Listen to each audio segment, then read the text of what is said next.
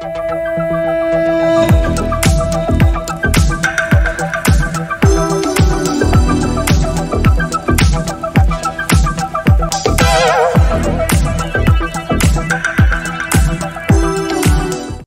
my name is Kelli VanVelkinburgh, and I'm here with my colleagues Lauren Tyler and Zoe Pamintuan.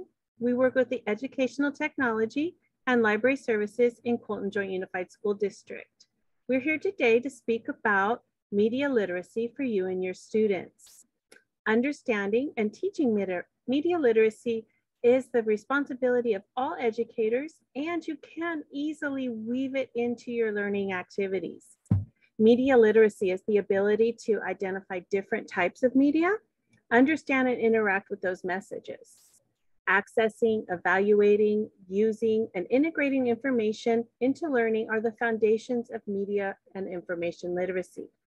Classroom teachers are encouraged to work with their teacher librarians to explore resources and integrate media literacy into their instruction. So we have a few tips to share with you today to help promote media literacy strategies in your classroom.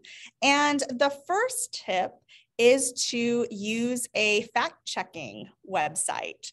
So, students are inundated with a lot of information online at all times, uh, and it can be difficult for them and really for all of us to differentiate between fact and fiction. So, one of the things you can do is encourage your students to visit a fact checking website.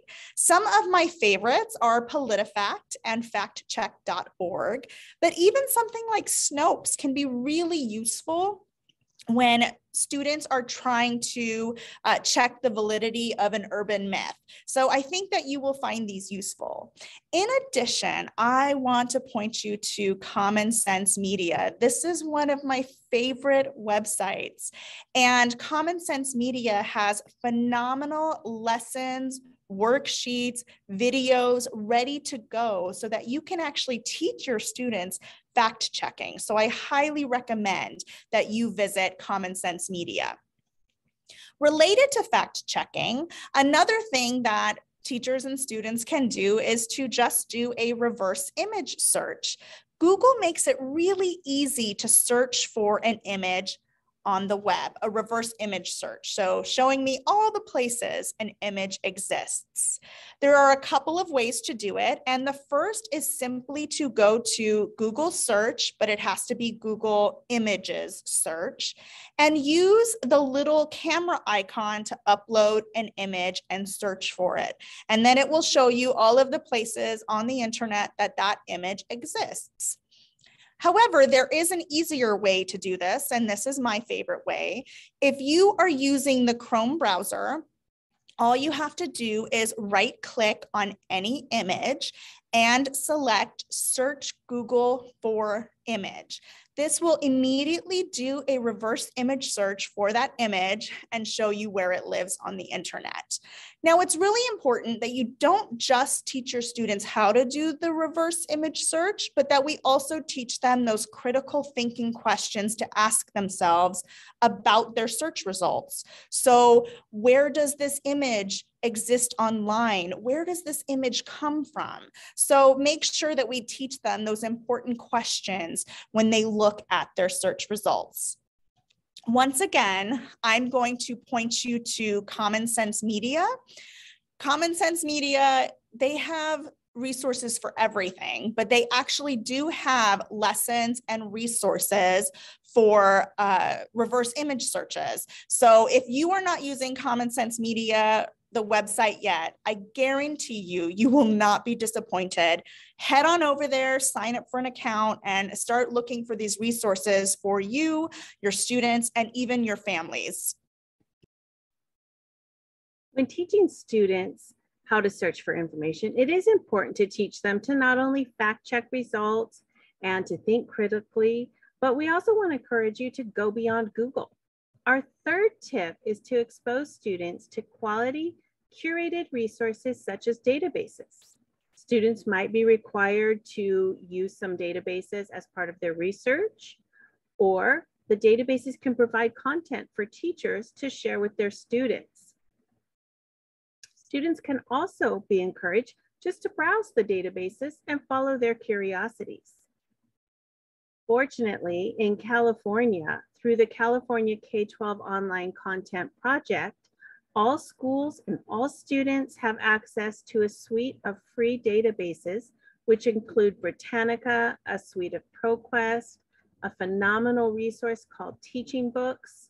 And within ProQuest, there is Research Companion, which has self-paced lessons that teach research skills, including fact checking, citing sources, avoiding plagiarism, and it's really a valuable resource.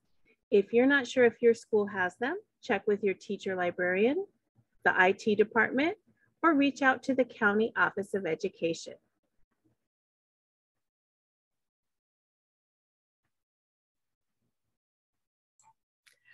Tip number four, teachers, don't forget to prominently cite your own sources and model appropriate media literacy. You want to explain to students why those citations are important, and you want to draw attention to your own citations whenever you use them. Modeling this behavior teaches students to give credit where it is due. It helps them to avoid plagiarism, and it provides them the opportunities to follow source links for research and for fact checking. A really great site is the Research and citation resources from the online writing lab at Purdue University. And also remember that the databases have built-in citations. The ProQuest Research Companion has self-paced lessons that teach students how to cite their sources.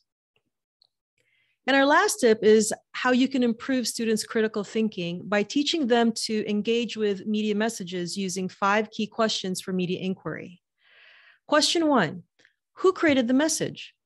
Question two What techniques were being used? Question three What perspectives are represented? Question four Which perspectives might be missing? And question five Why is this message being shared? So I hope that you found some of these tips to be useful and that you will be able to use some of them in your classroom. Uh, so thank you so much for joining us.